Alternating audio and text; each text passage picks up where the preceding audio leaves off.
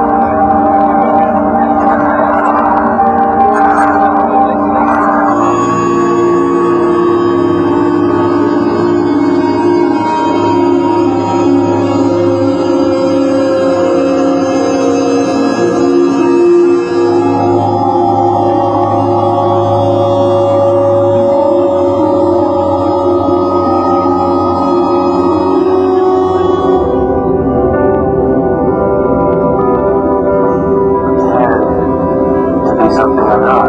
If I am angry, I get up and I play my songs angry, and it lends a, a, a depth to the songs that maybe wouldn't be there if I didn't have those emotions. And conversely, no one's seeing me up there with a propped up smile, aching to put on rockings that I don't really believe in,